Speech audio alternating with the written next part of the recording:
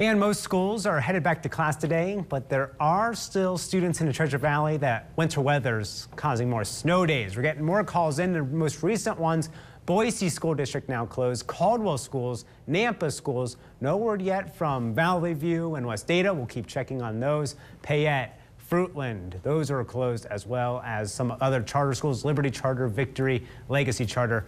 Head to our website, kboi2.com for the full list of closures.